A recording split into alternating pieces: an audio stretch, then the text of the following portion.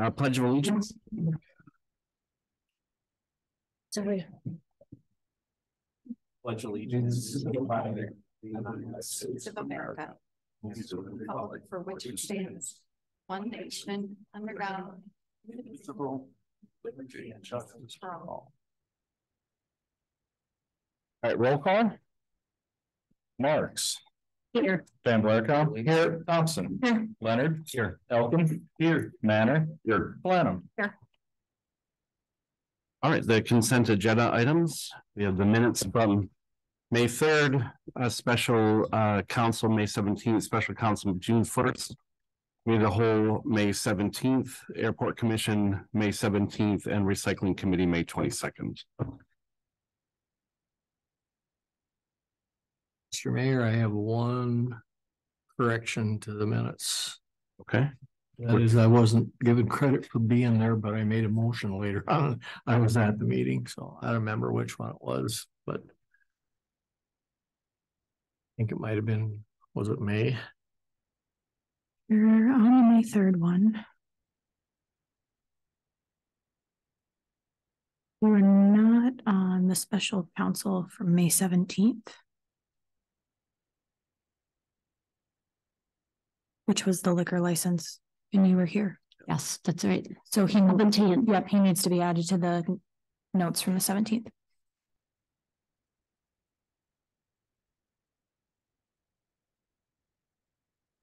any other corrections or omissions? Make a motion to accept the. Uh.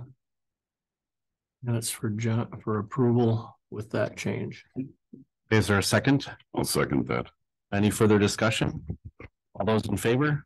I, Aye. Aye. Opposed? Okay, um, we're moving into public comment.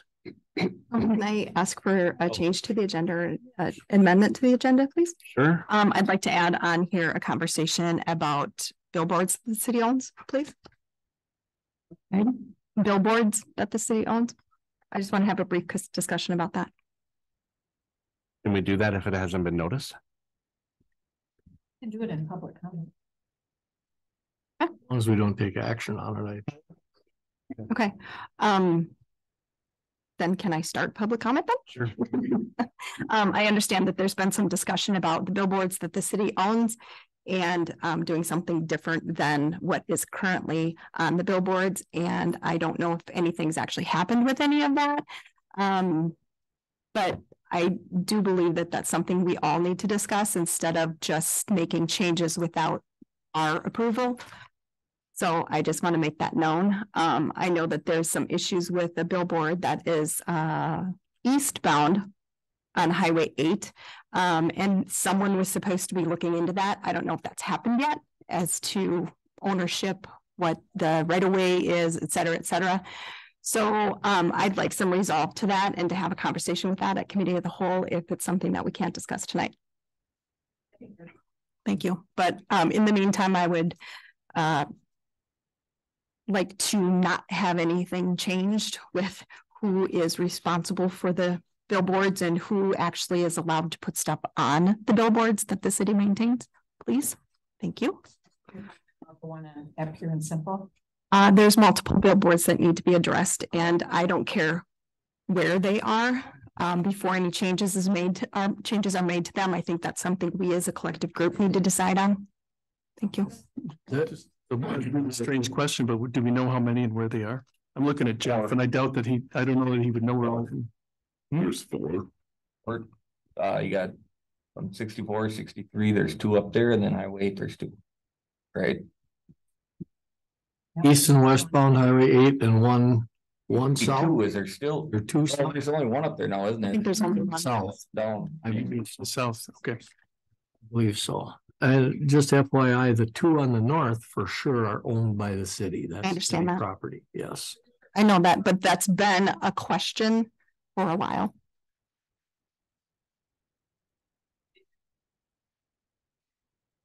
Yeah, exactly. Mm-hmm. Yeah. Thank you.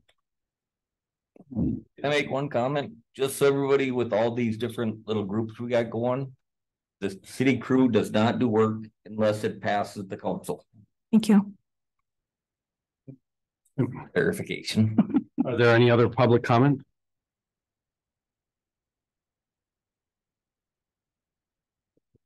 Okay, moving on to uh number two. Uh, Approval of liquor, cigarette and other uh licensing.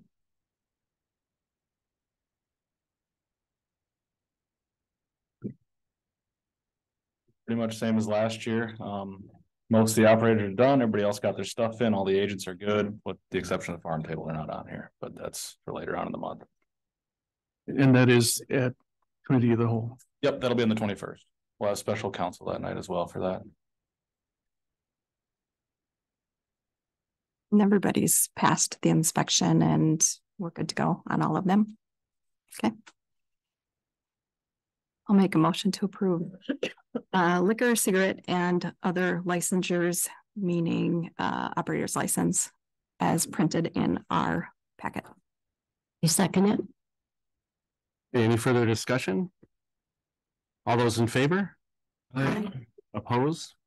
All right, moving on to resolution zero five two zero two three, resolution accepting ten tools of uh, civility. This was uh discussed at the committee of the whole meeting. Um. And it was affirmative that people wanted to move it on to the full council. Mhm. The people had a chance to digest that and and see if there were additional changes they wanted to see or. So it's in, in the record, can we, can we just read the Oh, ten items? Just to get it out there? All right, so the, the ten items that, uh, there's other things that are listed, uh, in here with the ten items are pay attention, listen, be inclusive, don't gossip, show respect, be agreeable, apologize, give constructive criticism, take responsibility, and always tell the truth. These are pretty much verbatim is what was presented in the state of Wisconsin the municipality magazine over the course of the last number of months. Came from, I believe, from somebody through the U was University of Wisconsin. Superior, yeah. Yep. Mhm. So is there a motion? A motion to accept resolution zero five dash two zero two three. second. Okay, any further discussion? All those in favor? Aye. Opposed? All right, resolution is passed. Resolution zero six uh twenty twenty-three CMAR. Compliance maintenance resolution. Yeah, this is one we have to pass every year for Jeff. For our, uh, I think it's wastewater, isn't it? It's the wastewater yearly permit, just, and everything is in line and we will do all right this year, so everything's good to go.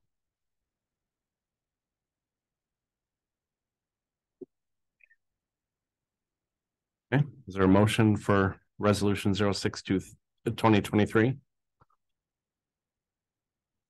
To accept resolution zero six twenty twenty-three. Is there a second? I'll second that. Any further discussion?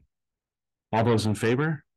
Aye. Aye. Opposed? All right, hearing none, uh, resolution zero six twenty twenty-three has been passed. Uh, City of Amery meeting policy. Again, this was discussed at the committee of the whole. Is there a reason for the asterisks before city of Amery meeting policy? Is it referencing anything? Before the title? Oh, you mean on the actual document? Yeah. At least the one that we have. Is it referencing something or? Just a typo? Okay. I just wanted to make sure. I didn't see anything else that it was rep- referencing, so thank you.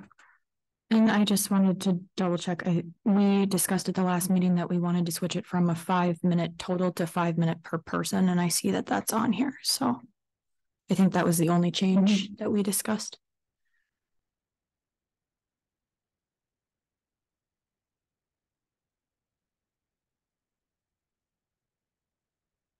I'll make a motion to approve the city of Amery meeting policy as printed.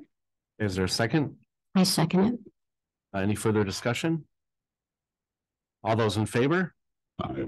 Opposed? All right, motion carries. Uh, Bakke Norman agreement. This is an agreement uh to memorialize on paper what uh Norman has been doing for us in the past.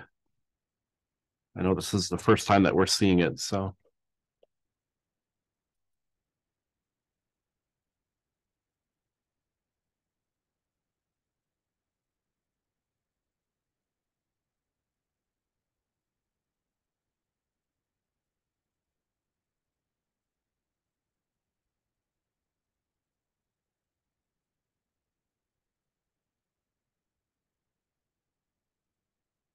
I have a question in number three of the fees, the fee that uh in the very last, the second paragraph, very last line says in those cases, our nominal rates are.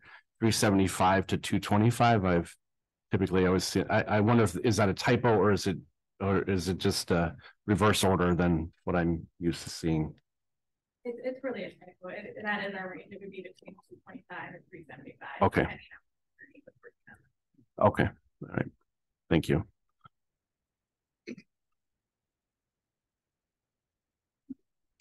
The same as they were. Yeah, it is the same as what we've been charging. We haven't increased it.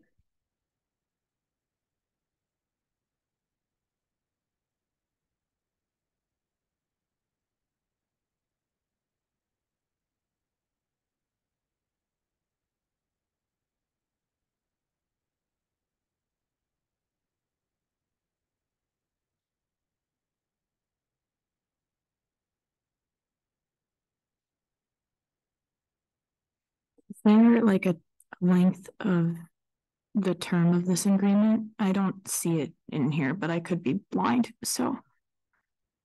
I don't believe there is typically in our fee agreement, we don't, we can put that in there easily if that's what you want. We have no problem. with that. So we're not agreeing to any length of time with this. Okay.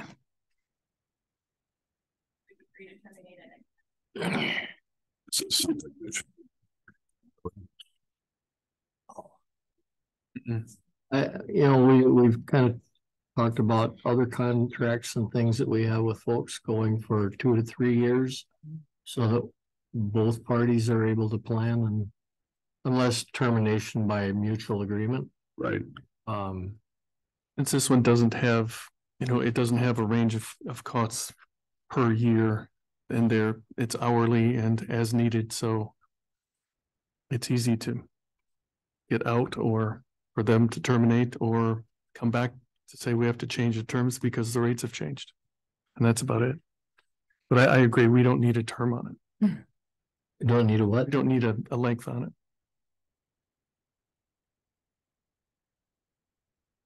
Are there further questions or comments?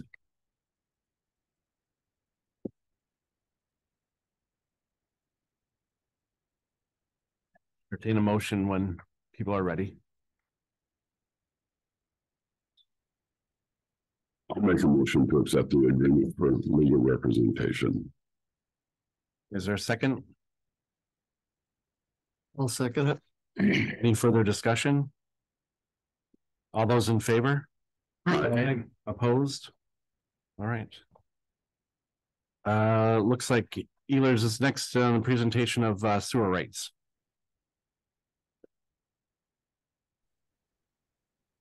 Sure. Thank you for having me. Can you guys hear me all right? Yeah, we can. Thank you. Okay. My name is Brian Raymer. I am with Ehlers and uh, we have been hired to look at the sewer utility. So I believe you should have some packet materials, but I can also share the presentation on screen if you would like. Yeah, that would be great if you could. Okay.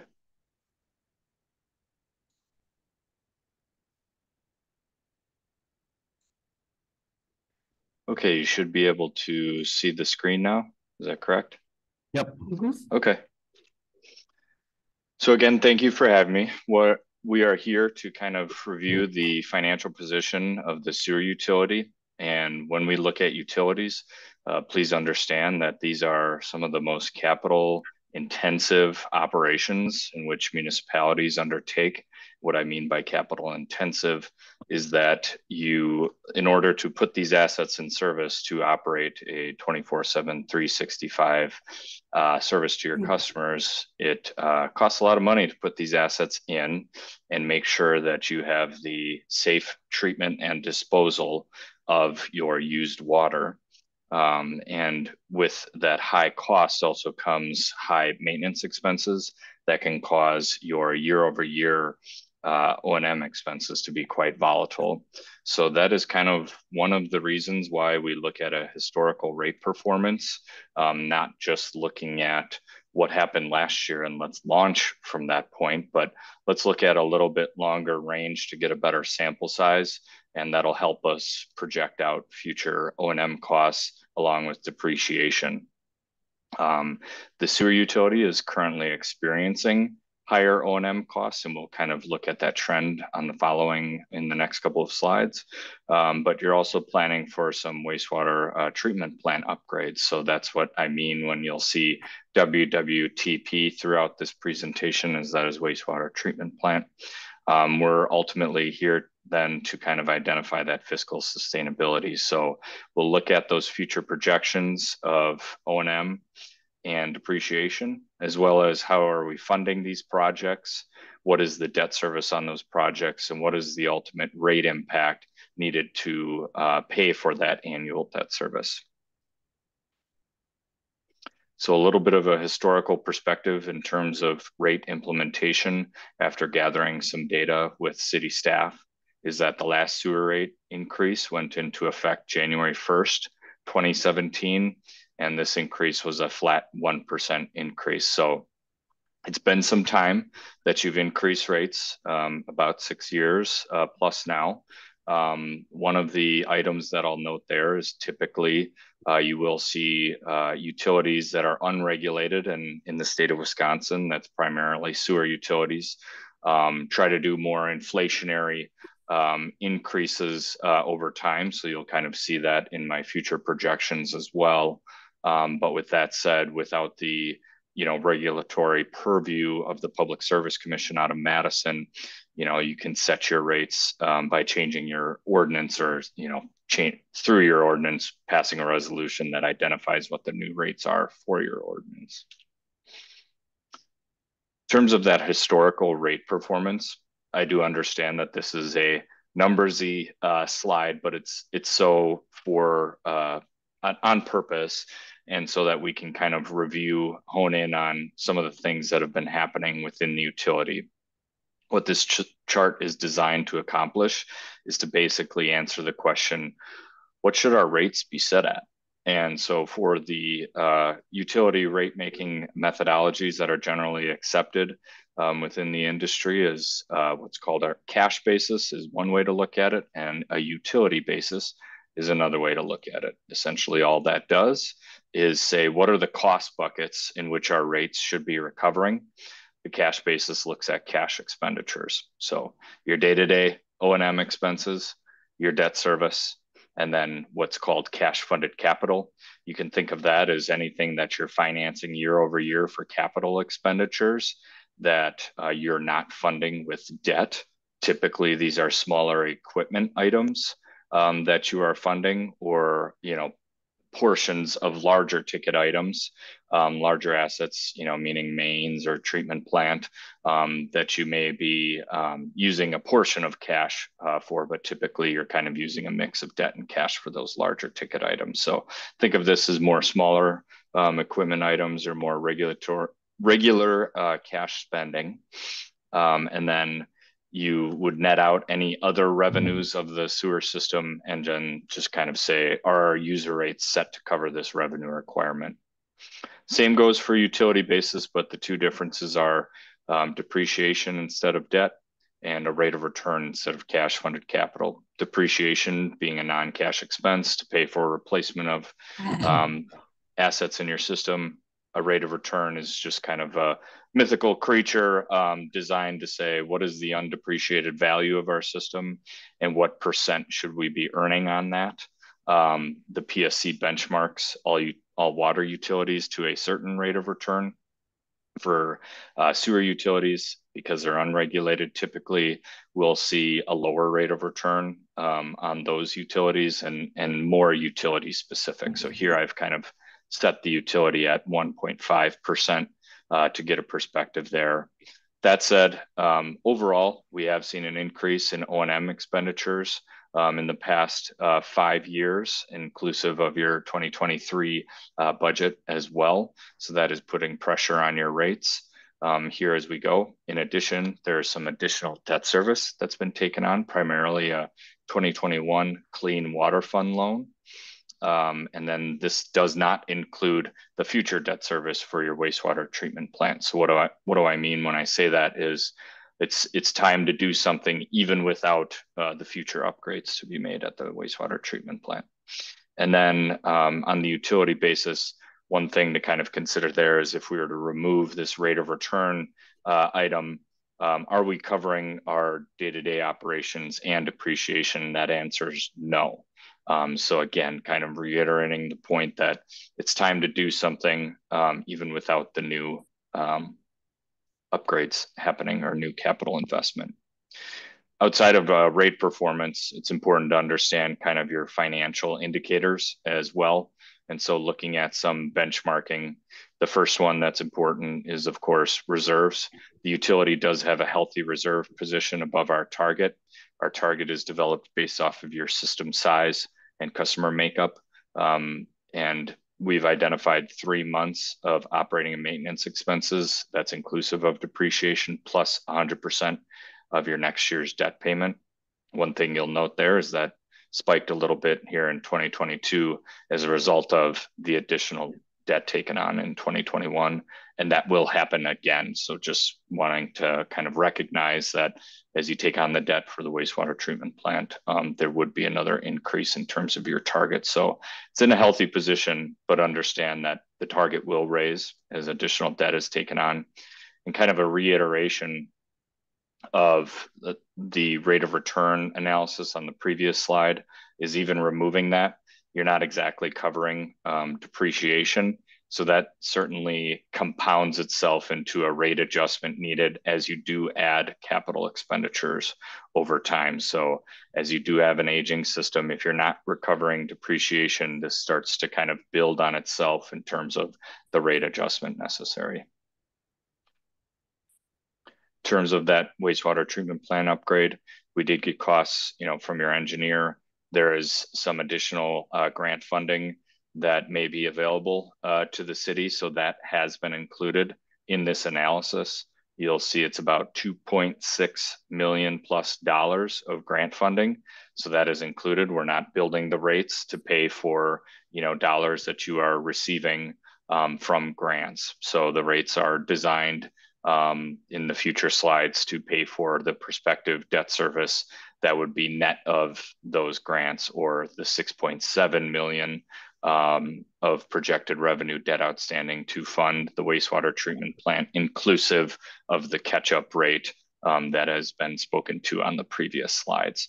We did also assume, um, after reviewing with the engineer, you do have the option to run the loan on a 30-year life cycle.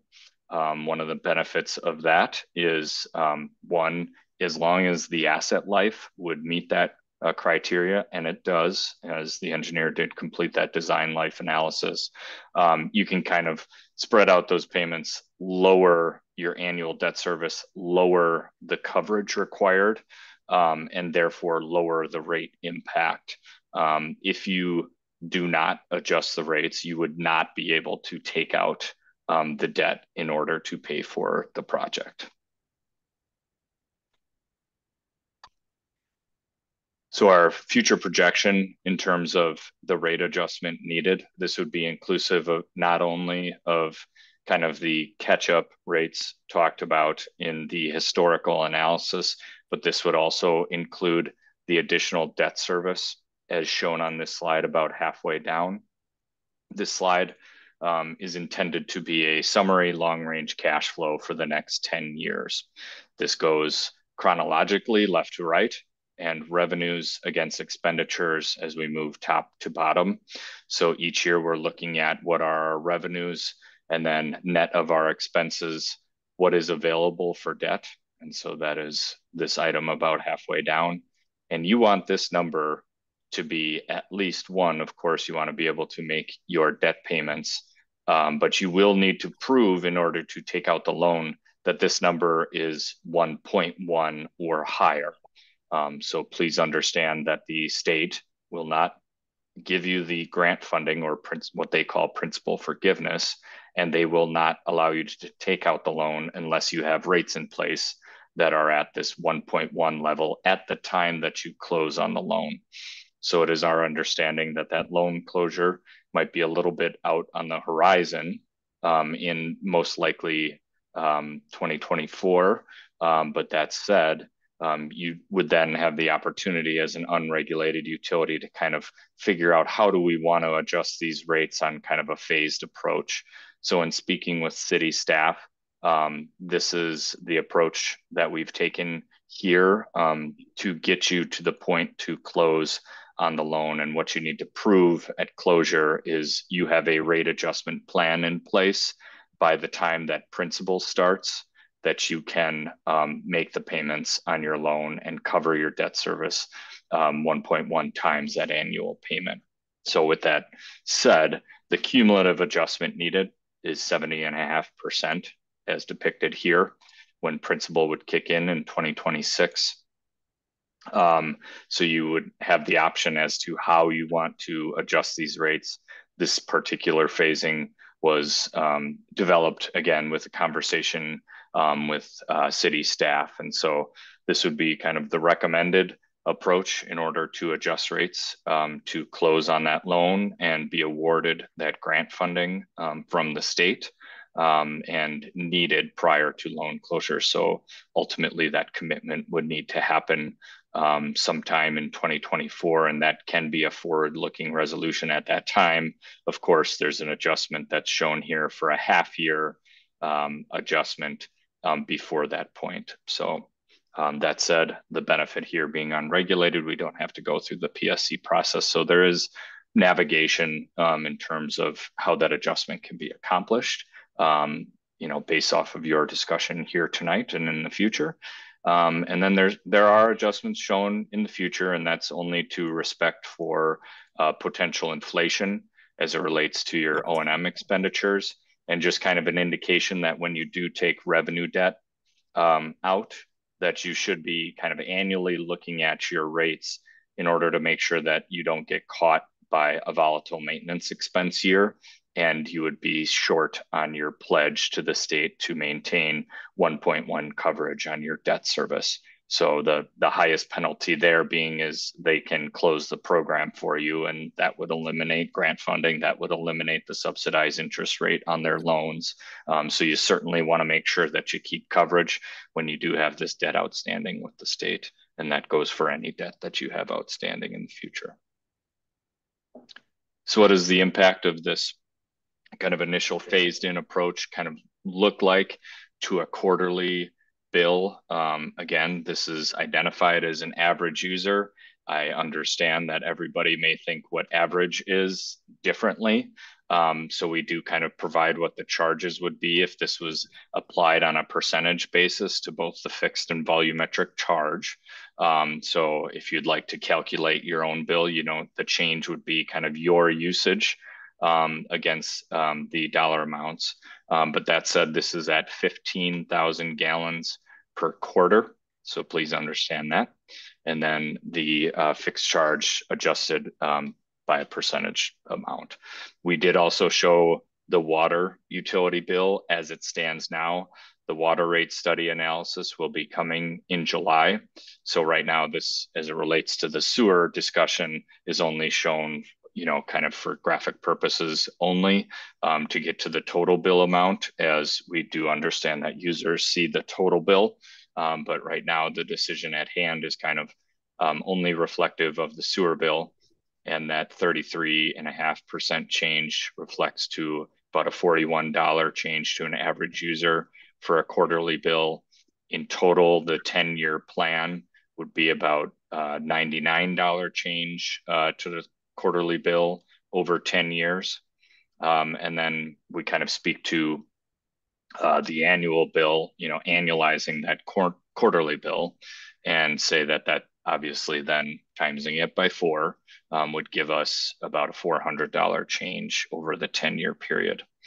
One reason we provide this column here that identifies median household or the percentage on median household income is that the American Waterworks Association did an analysis a couple of years ago to identify kind of affordability as it relates to this metric. Um, we do kind of identify that this metric uh, means nothing to almost no one, meaning that like the median household income only would speak to the exact middle, um, and therefore the representation um, is not exact. Um, but for their standard, they do say that affordability discussions should start at the point at which um, your utility bills by utility are about two to four percent. You know, so if they're higher per utility than two to four percent of MHI, that there may need to be kind of a deeper dive into affordability, and that could be through changing your rate structure um, or other means.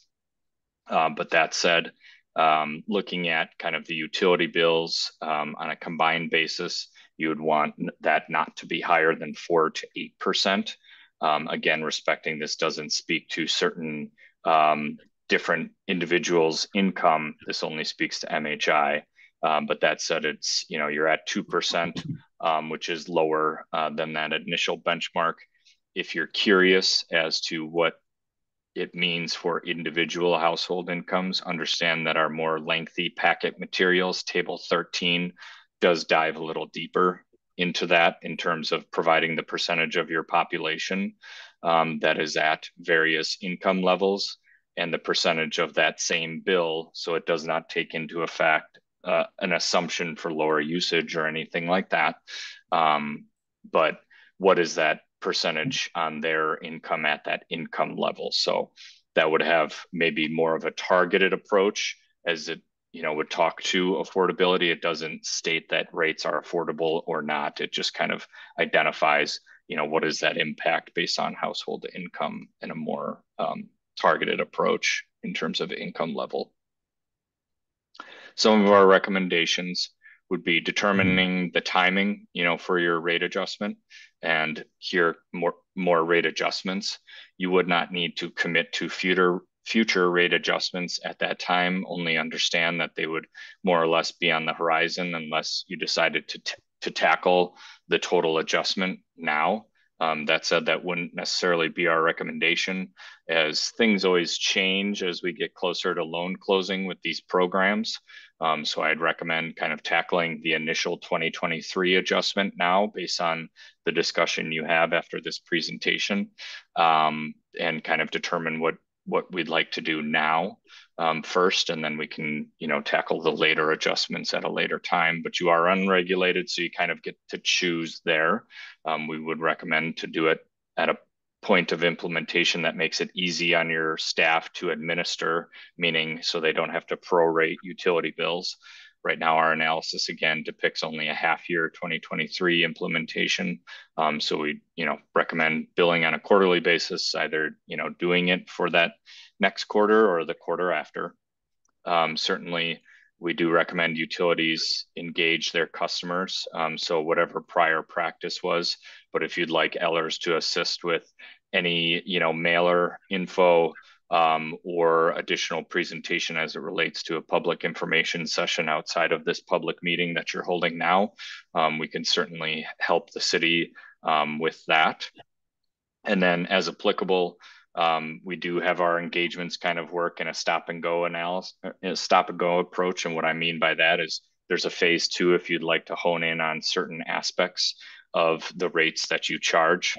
What we mean by that is, you know, you can certainly apply a percentage across the board to your fixed and volumetric rate, but there are some utilities that would prefer to change the variability in which they charge um, fixed and volume rates. And so that kind of provides a little more in-depth analysis. And so that's what our phase two is designed to do. If you have category B users, also known as industrial strength users, this uh, cost of service study would more or less be required um, because a percentage across the board um, would not directly be equitable to those users as they are charged for things like BODs and phosphorus, but that may not be applicable. Um, but we just kind of wanted to say that if you did want to do that, understand that our engagement does have that option if you'd like to look uh, kind of deeper into that. Otherwise, you certainly have your discretion to use a percentage across the board. Um, and then any other rate making goals uh, you may have within the utility, we could um, tackle um, within phase two as well. So um, at this time, I'll kind of take any uh, questions or comments and we can kind of open it up for discussion. Thank you.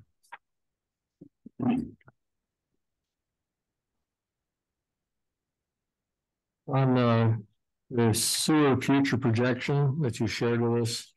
I, I'm thinking it has to be just a typo, but it talks about debt issued and grants and aid. And it shows nine million, three sixty-one. I'm assuming that should be five million, three sixty-one. Yeah, would be net of, it actually would be probably 4 million.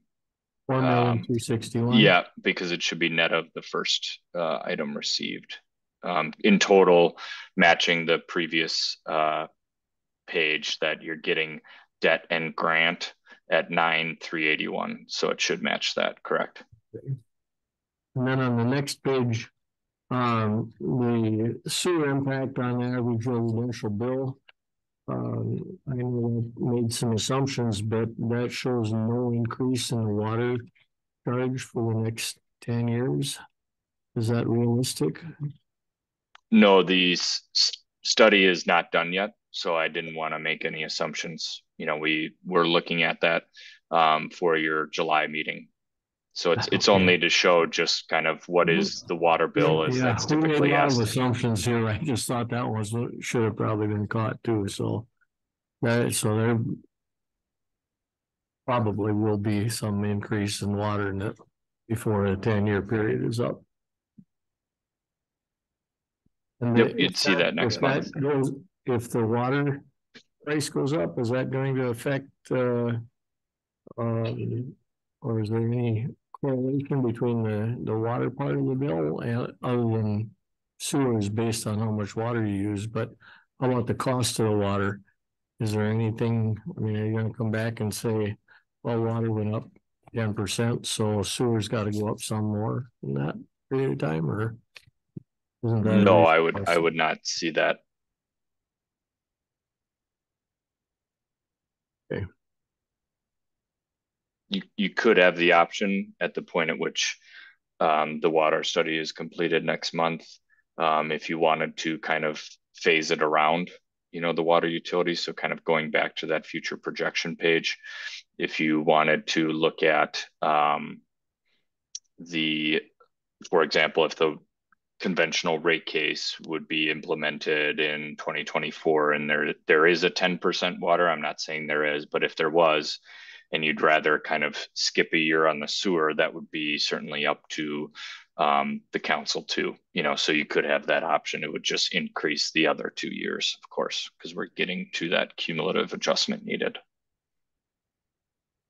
And i apologize the number actually is correct on the sewer projection. One one reason that that does look different is because you've taken out interim financing uh, in 2023, and so um, in actual reality, you would have an interim financing payment to refund that, and so your total loan amount will be the six three or the six point seven million, but a portion of that would be repaying the interim financing at that point. So if you look a little above that, you're going to see your existing debt number, you know, have that $5 million payoff, and that is for the interim financing. So the numbers are correct. I apologize. So it is nine million.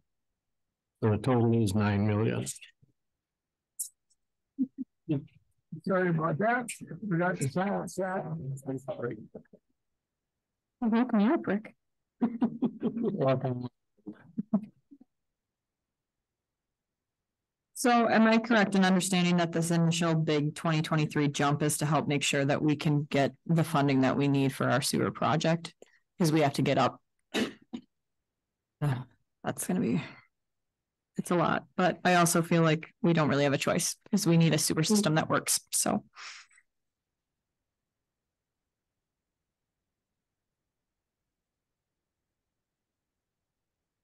How are some of the other communities, we identified, but how are some of them addressing capital or category B users?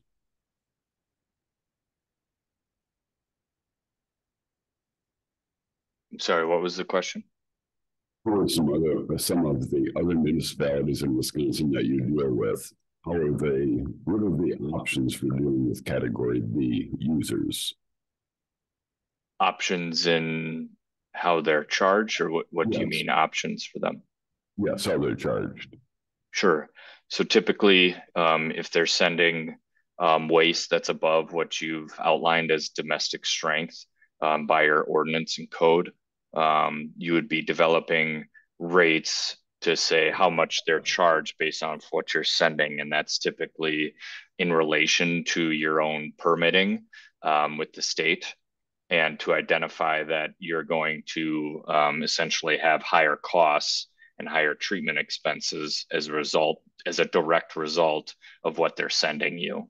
Um, so that could be, you know, the BODs, the suspended solids, you know, phosphorus, nitrates, whatever it is that they're impacting your system, you want to know that cost causation to get the direct rate of what they should be charged. Um, so we would be looking at their loadings as you'd likely sample them at the point at which it enters your system, because otherwise you might be getting some downstream uh, items. So typically, with they would appreciate having a sampling right at the point at which they enter your system or right before. Um, so it would require sampling. And then beyond that, it's just kind of getting that true up in terms of how much are they sending per day, you know, whatever, whatever your structure of the more or less agreement that you would have with them, um, but making sure that you get to an accurate assessment of what kind of costs are causing on your system as a result of the sewage that they send. Thank you. We don't have any issues with that. Everything's flat on our end. It is. Bill anybody or extra bill. We don't have any industry that hurts anything right now. Okay, And what, what if that were to change in the future, just considering we have an industrial park that's Yep, now it- constructed? Then you have, they have to let us know what they're gonna put into the system and we come back to you on that and find out what we'd have to do. Thank you. Well, back to my, debt service, uh, thing here. so our debt service now, uh. Um, principal and interest is fifty-nine thousand roughly. Uh, as it shows up in that. Debt issue granted, is that a, is there a plan to combine those two? Those or, uh, if that goes out, I see clearly the end of, or to twenty thirty-two. Um, is there? Value in combining those into just one and, or is there not, that's not allowed or what? What's your thought on that? Combining which debt issues? Well, we- right now we have existing, uh, P and I of fifty-nine. Well, yeah, fifty-nine thousand dollars. And I'm a little confused as to why it's hundred and eighty-six thousand and five million. And then it Sure. goes to fifty-nine. Sure, sure. Um, so ultimately, the what you'd be looking at for the existing debt, one of the reason is you've structured your uh, revenue bond anticipation note to pay interest uh, before it matures.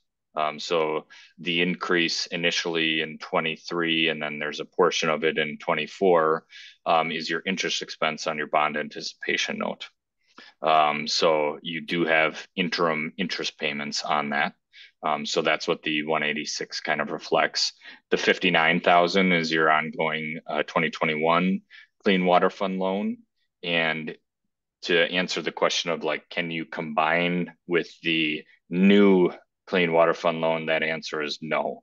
So the Clean Water Fund loan program is designed to finance projects on an annual basis and they do not refinance or restructure their debt. So the reason that they're able to provide communities with subsidized interest rates is because they actually go to the bond market to fund their program outside of mm. what they receive from the EPA and they get a AAA rating at the state.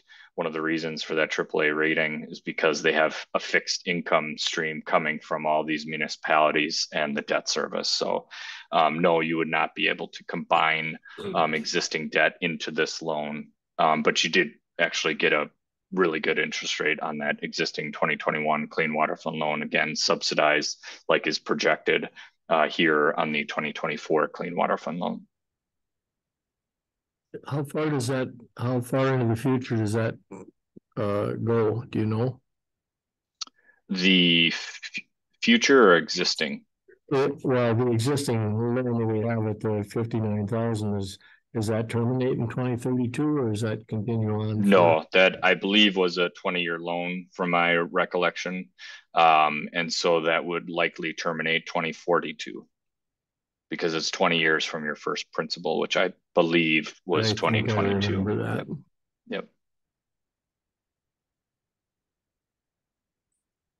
What rate are you anticipating with the, with the new clean water? Sure. Um, on the on the bigger packet, if that was provided uh, to your group, table seven indicates the projected uh, principal and interest schedule for the future clean water fund loan. I did project a 2.695 interest rate. What that is assuming is the same kind of 55% of market rate, um, which you got in 2021, and that current market rate plus 1. So I took the market rate as it stands today, added a full percent. This typically changes about a quarter percent up or down, um, and more on a semi-annual cycle. I think the state does a really good job trying to keep this program attractive so that municipalities don't always jump to the market. You know, for those municipalities that don't receive grants, of course, you know, if you're receiving free money, you know, we're going to take free money, but um, they do the state does do a good job for keeping their rates, their market rate low, but then you qualify, the city actually qualifies for what's called the subsidized rate, which is 55% of that market rate. So that's where the 2695 exacto magic kind of comes in. Yeah.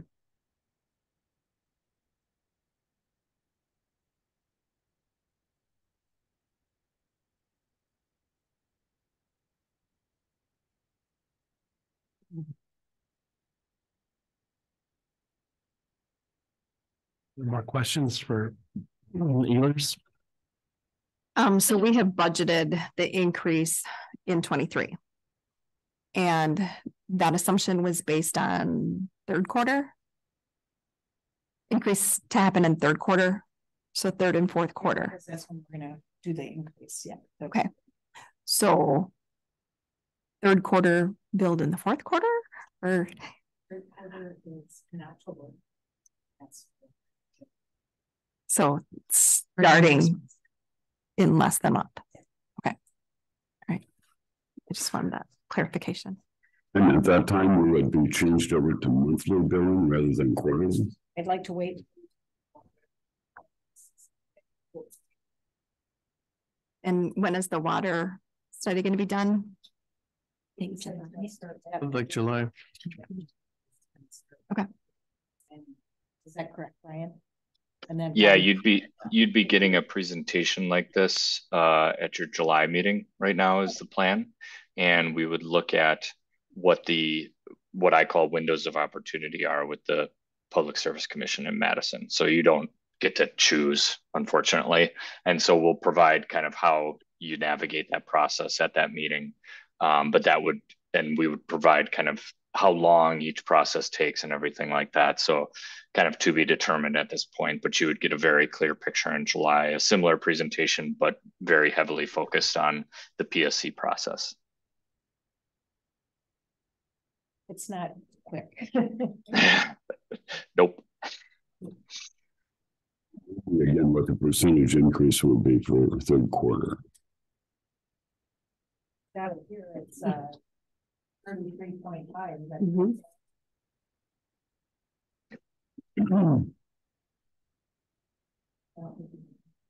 Is it thirty three point five percent, Brian? Correct. Yeah.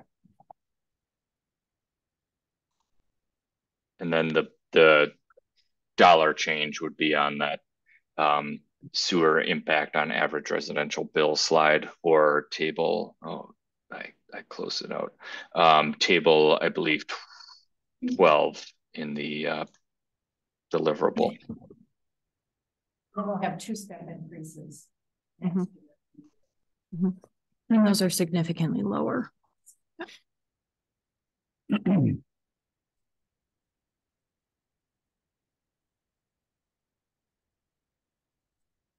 okay. Any further questions? Because there's no action that we're taking on it. This was just information for us now. Yeah. Mhm. All right, thank you, Brian. Thank you for having me. Uh, everyone have a great night. Yeah. You too. All right, next we'll move on to ordinance number zero two, two thousand twenty-three, all terrain and utility uh terrain vehicles. I put this on the agenda at Rick's request, actually. He wanted to talk about the ATV route ordinance that we passed Last summer. not long ago, twenty twenty-one, maybe? Yeah, something like that. We, we had quite a big debate about, uh, uh, westbound County Trunk F traffic coming into the city, and I was under the assumption that we limited, uh, traffic at whatever that street is, it's just, uh, east of the, east of the, uh, bridge on forty-six. Um, but it might have been Minneapolis too. We've talked about both of those, but I don't think our, our current uh, listing says that ATVs are not, they can't come from the city limits in. Correct. So the And I, and I don't, I don't, I, I'm sure that was not part of what we discussed, because you know, the only alternative for them there is to go across private property, i.e. the school or um down the street and then across uh the weld, the welding shop there, and I don't think we have the authority to be able to direct them that way. So I, if we didn't have that discussion, we- did you find anything in the minutes, Ben, or did you, maybe not? I just saw that we took Tom's recommendation at the time to shut down where he wanted shut down, and the portion you're talking about, it says in the old ordinance. Um, it shut down from Minneapolis to the city limits on the east side, that's all it says. Yeah, So the ordinance that you guys have is identical to the one we already have, it just removes that one section. right. And then that gives, that gives ATVs that enter the city the opportunity to hit Minneapolis south or north at that intersection. Mhm. So Just moves things up. I don't know that anybody's. You know, I, I did have somebody ask me or say, how do you expect me to get into the city? You know, they- hey, I thought we changed that, so this will do that. What I, if I remember correctly, the conversation was because of the narrowness of the road from the entrance to the north of the school there out to uh the city limits, it was so narrow and Tom was concerned about also having an ATV on it, but You know, I also- yeah, they come in F down past Waterman's and stuff, same with the road, so. Yeah. So I make a motion to pass the uh amended ordinance zero two two zero two three. I'll second that. any further discussion? Okay, so for a point of clarification, there really isn't anything listed as far as the route from um Keller Avenue. East.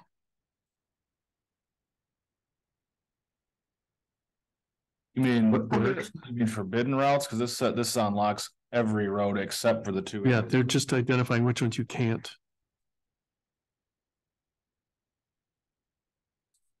These are the exclusions. I understand. It removed the exclusion of the one to the east. So we're allowing from the city limits in to Keller Avenue. No, no, to Minneapolis. It doesn't say It Minneapolis. doesn't say that. Doesn't say that. It doesn't say that here.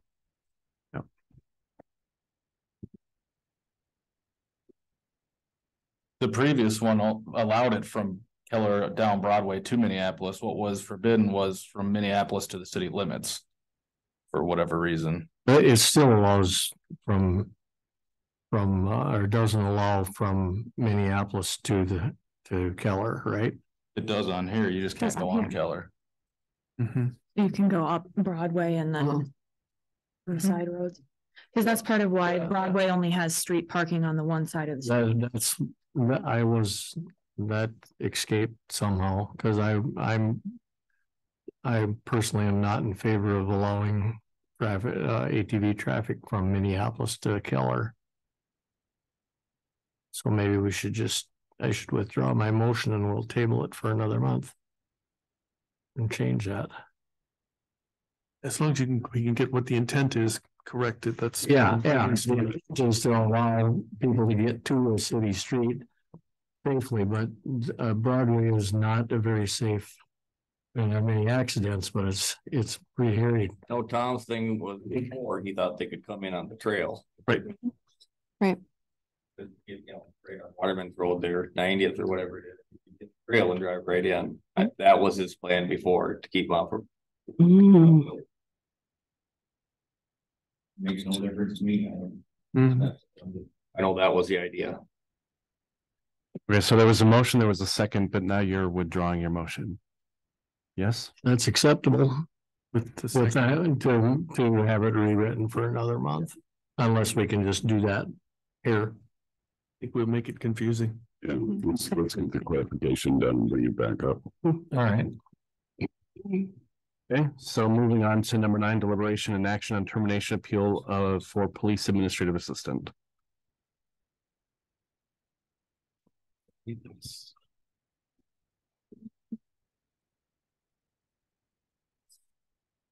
Um, I, I guess I can start with my thoughts.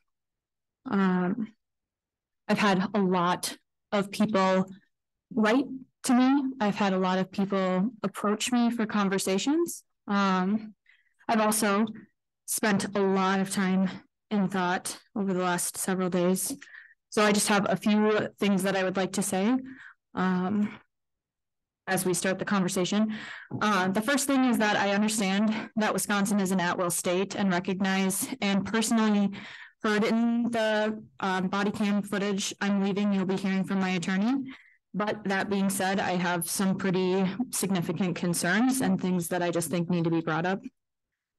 Um, primarily, I think that HR or some sort of third-party person should have been involved in this situation um, for the protection of both the city and for Miss Escrow.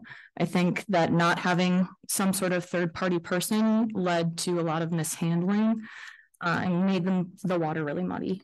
Uh, it's also incredibly clear to me that we have some major trust issues between our new chief and his staff, and that's really, really disheartening to me because I'm extremely pro Amery Police Department. Uh, and I don't think that these trust issues are going to lead to productive police work in our city. So that's something that I think we really need to address. Um, I think those trust issues may have led to this investigation. I don't know that I would jump to immediately questioning someone's intent, taking a photo if I didn't have trust issues um, in the first place.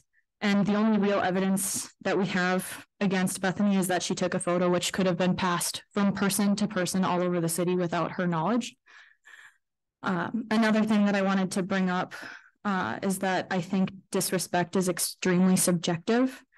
And in my mind, I personally see a woman who was put in a position where she was uncomfortable, likely without warning. Um, and we all respond differently to that. I know that Steve sees her behavior as disrespectful and he has the right to that, which is why I still believe that HR or a third party should have been involved to navigate those interpersonal issues. Um, Steve has every right to run his department the way that he sees appropriate. However, personally, I feel like both Bethany and Steve made emotional decisions in those final moments of the tape. And it's not a management decision that I personally agree with based off of the evidence that was presented. At a bare minimum, I would like to advocate that we remove the unsubstantiated claims from her termination paperwork because there's a lot of things in the paperwork presented that there is no clear evidence for. Um, we are a board, so I know that you all can disagree with me, but I have lost a lot of sleep over this and I felt like these things needed to be said.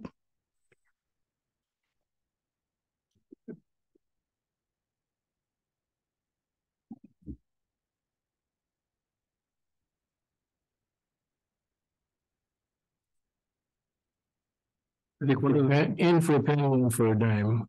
Um. I want to just say, first of all, I, I'm going to recuse myself from voting. Uh, Bethany and at least half of her siblings worked for me at one time or another. Um, and I just am not very comfortable passing judgment either way on her.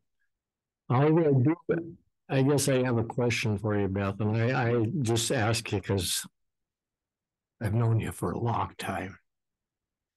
Do you think you'd be able to work with in, in that? And I'm gonna pose the same question to Steve. If you got your job back, will you be able to work at that job without recrimination? Ms. Esther is represented by counsel, so it's up to her if she. Exactly, exactly.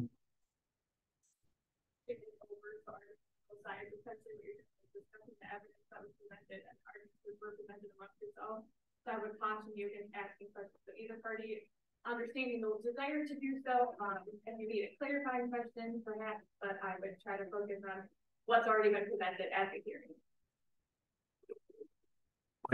Me, I wasn't at the hearing. Can you answer?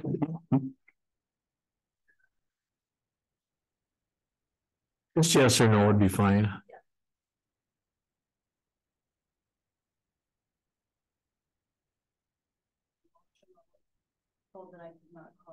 Thank you. I don't want you to say any more that might, you know, cloud anybody. Steve? Yes. Okay. I can work with her.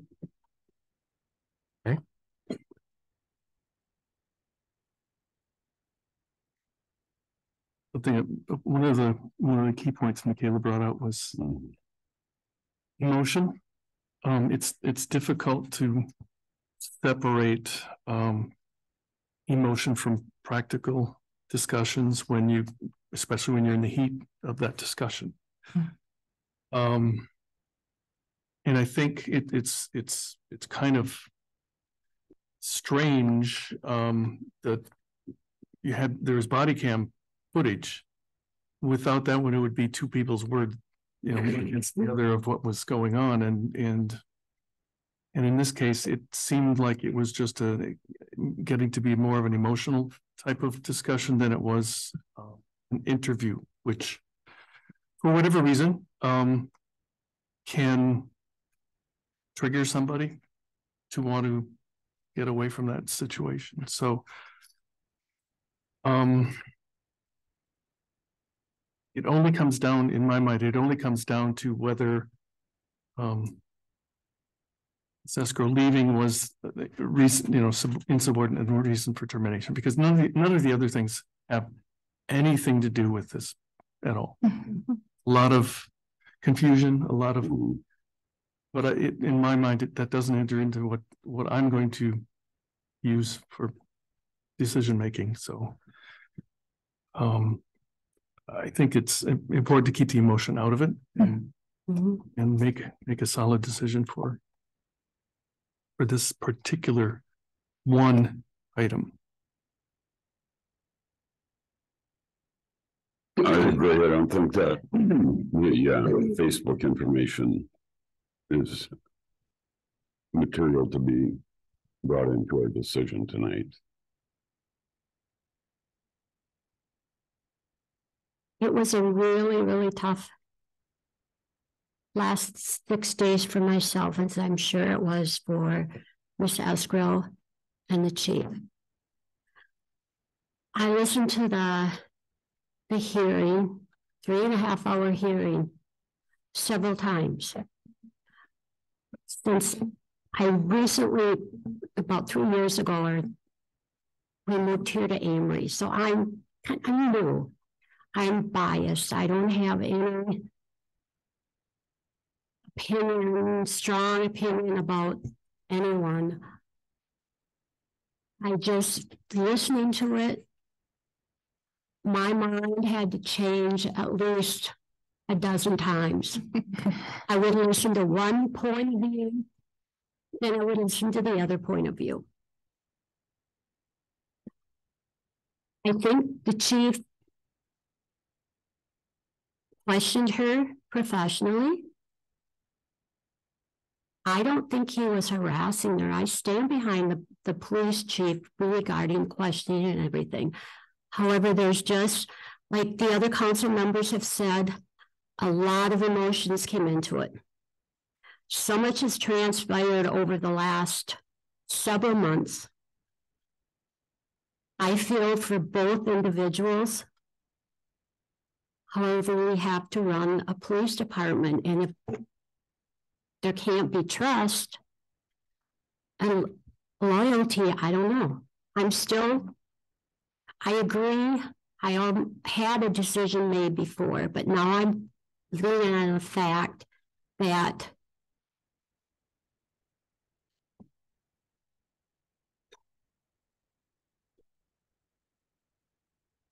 I guess it's just up to the board to decide what we feel is right or wrong. There's emotions on both sides. I just so wish that Miss Escrow wouldn't have left. And there was also topics that the chief brought up regarding our handbook. And I wrote down the different notes, notations that he had mentioned. And I read through our handbook and it's clearly written. It's clearly written.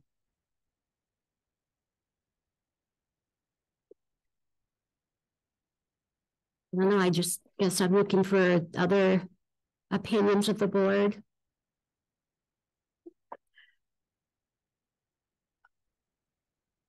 Um. I made lots of notes as well as I'm sure.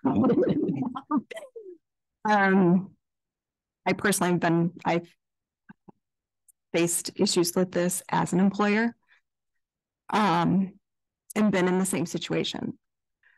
And I've had it go both ways. And um, I think that this issue, um, as we've all mentioned, was very emotionally charged. And I would like to think that had um, um, had I if we can put a little time between that day and the next day without having the last five minutes happen, I guess. Um, would other emotions have come to table?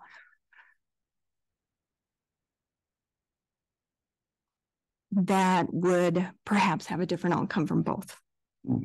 And um, I would love to rewind, as we've said, 20 days ago. I'd love to rewind five months ago. And we can't do that. I would, however, like to believe in the good of humanity and that um, that we can maybe all get along, regardless of the circumstances that this has brought up and the last five months have brought up. And um, this is a, this is a very tough decision. Like I said, I've faced this personally, and it's it's not easy to matter, no matter what. So this is not a personal decision for me by any stretch of the imagination for either of you two. So this this is not easy. Mm -hmm. I've also had experience as an employer and having to had face issues very similar to this. And it's never easy. There's never an exact answer, but if we could rewind and if Miss Escrow had asked for an hour or the rest of the day or a day off or something using personal time off or something to kind of regroup that we have given both of them some space to come back at it the day later and discuss it from that point forward. Um, I don't think departing the way that Miss Esco did was professional. To say the least. Um, rather than asking her supervisor, Steve, for some time off to let this settle, to instead threaten him with legal action. Um,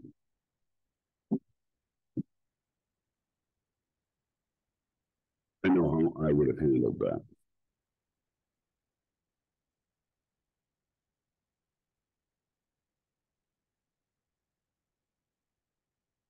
So I, I don't get a vote, but I'd like to have at least a voice.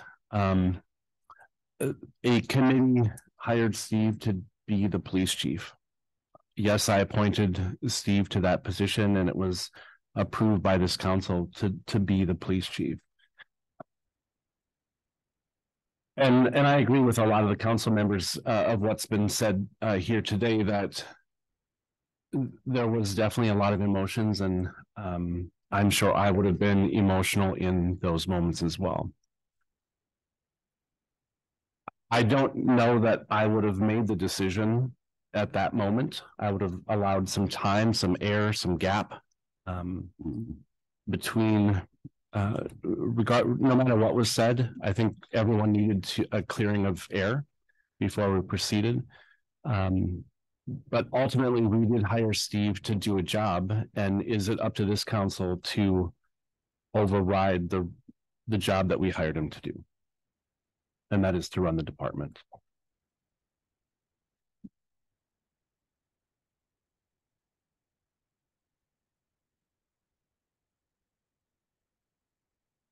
Are there any more thoughts before we make a final determination?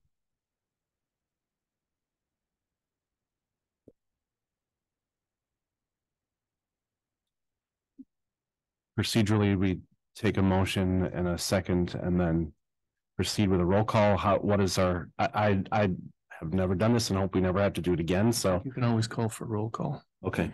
Um, can I ask another question? Yep. Um, should we should we decide to, um, reverse the termination?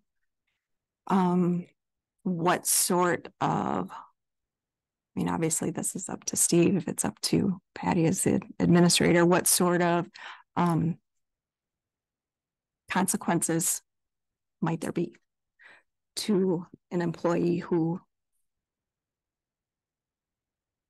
um to an employee who basically terminated their position um and coming back? Is there any sort of consequence of leaving your place of work without authorization? Is there written warnings? Is there um, verbal warnings? What would happen in that case? I'm just putting that out there um, based on the um, decision that we have to make now. Um, this to me is not done. Um, that I think, you know, should should it be decided to reinstate her employment, um, I don't think this is the end. I think there needs to be some involvement um, with others to determine any sort of um, disciplinary action. Should that be the case and should it be necessary? So. Do others, what does the rest of the council think about what Sarah just said? I think it's a really valid question, um, because it, if we were to reinstate, obviously we can't just throw our hands up in the air and say, okay, have fun, figure it out. Um, because it- there's gonna need to be some relationship repairing, there's gonna need to be some sort of something in the file. Um, I don't know exactly what that looks like. Do we have any sort of policy or anything that we have written or that we could go off of from past in the event that that happens? Anything above and beyond what the handbook says. This is, Is that something we can develop for future reference for all departments within the city? So We have a consistent, I'm sure you have verbal warning notices, written warning notices. That's, that's essentially what I'm referring to. Yeah, there's, there's step verbal warning. I mean, I, I also feel like I'm kind of getting ahead of the, ahead of the game here, but I, I wanted to say that out loud. just in, depending upon the vote. Is there any way that we could, we do reinstate Miss Escrow? Some type, some process that we can create to make it like a mediation or just make it easier for both people involved so they can work together, so we can do not have to go I- through I think our another. limitation is to, Hmm? our- I think our limitation is to do just one thing. Mhm. And I'm gonna look at Lindsay Oh. because I don't think we can write policy as part of this decision. That you could have for a future Right. discussion and for Policies, but tonight. it's- it's talking about whether- One thing. Mhm. And I understand all of those things, but I still, I don't. I don't want to cloud our side of the things with Right. trying to make it easier for, it's just, mm-hmm. it's either an up or a down. Mm-hmm.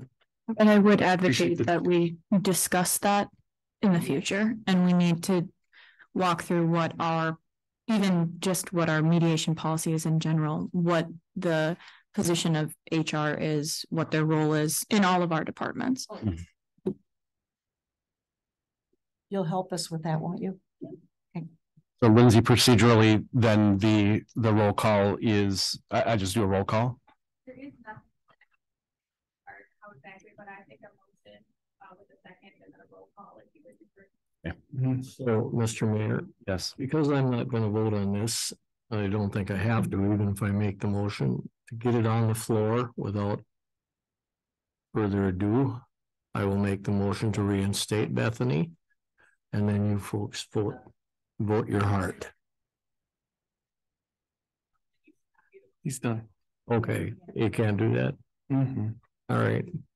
I just thought I'd take the onus off everybody else for, Oh, I made my perspective clear right away, so I can be the person to do it. Um, I would like to make the motion to reinstate Bethany Escrow in her former position. There a second? Second, All right, uh, any further discussion before we do a roll call? All right, roll call. Marks, Yes. Danny, recuse, Thompson, Yes, Elkin, yes, This is just a roll call, correct? Or is this a vote? This is a roll call vote. roll call Yes. to overturn, the motion is to overturn the the termination. No. Planum, Yes. Okay.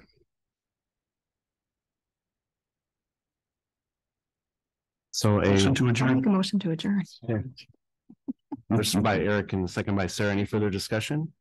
All those in favor? Aye. Opposed? All right, we're adjourned. Thank you.